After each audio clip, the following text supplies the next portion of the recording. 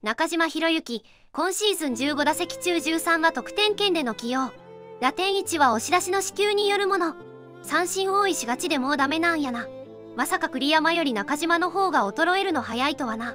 戦術やない獲得した人物のメンツの問題やぞ。昨日も満塁前回の起用も巨人戦で満塁時だったような。最近はそんなに信頼されてないんじゃね？昨日とか控え野手2人しかいなかったし。先発で打席こなして調子上げてく選手なんだからどうせ使うならスタメンで使え。1000球のストレートに振り遅れてるよ反応力が完全に衰えてる。もしもこの後1本が出たとしてもそれまでに積み重ねてきた中地のせいで負けた試合のマイナスで総裁やわな21 23年のヒット数が78本なのに2000本まであと72本もあるって絶対無理やろ。正気の沙汰とは思えない。イルカは知らんだ2軍で売ってるやつはやってられんやわな。今の中日の2軍まあまあ強いでアンチオーツ似たような起用してた福留も見切ったから何がやばいってバットに引っ掛けた時でもファーストに全く走れてないってこと。立浪は何か弱みでも握られてんの？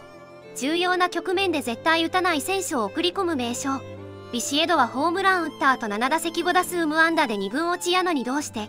勝負どころで使うんよな1本打たせたいって考えならどうでもいいところで使えよな。